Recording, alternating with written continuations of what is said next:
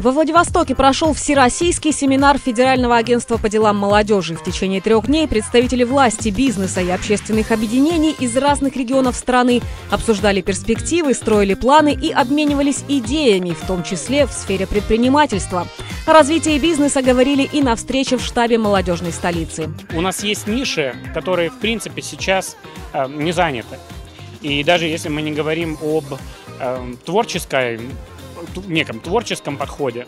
Мне кажется, что сейчас можно смело как бы обращать внимание на э, некоторые направления э, сервисные, для того, чтобы можно было просто прилететь в Владивосток и тиражировать некоторые проекты, которые реализуются в центральной части России, и они, например, здесь легко приживутся. Это просто непреложный факт.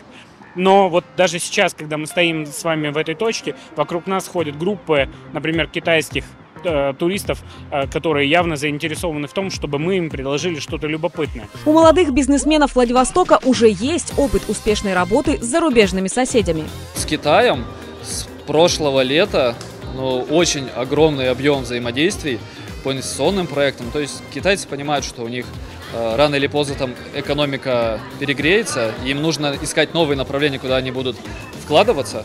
И вот сейчас э, здесь они э, стремятся развивать и туризм, и сельское хозяйство, и большие логистические терминалы. И вот эти проекты мы сопровождаем и им пытаемся помочь, чтобы совместно российско-китайские компании здесь развивались.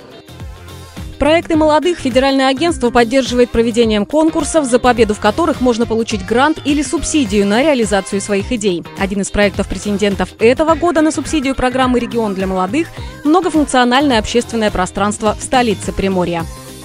Наш проект, он помогает в первую очередь привлечь в город дополнительные инвестиции, дополнительный бюджет на создание э, молодежного пространства, потому что, конечно, это большие деньги, вот, это, в общем, дополнительный бюджет, который за счет федеральной программы можно привлечь в город. Возможности самореализации привлекают во Владивосток все больше молодежи из других городов и регионов. Дарья Филатова переехала сюда из Красноярского края, хотя изначально не планировала. Были очень крупные мероприятия, как «Родные и любимые», «Отрос молодежи», форум «На волне», форум молодых предпринимателей. Я так влюбилась в этот город и людей, что решила тут остаться. Владивосток привлекает молодежь, а молодежь привлекает инвестиции. Эту особенность отметила и руководитель федерального агентства. Во Владивостоке я вижу, что на самом деле предпринимательская инициатива занимает здесь достаточно серьезную, а, серьезное место да, вообще в теме молодежной политики. Большое количество молодых предпринимателей, а, которые сегодня делают какие-то свои творческие продукты. Вот сейчас девушка а, подошла, рассказала о том, что она делает украшения.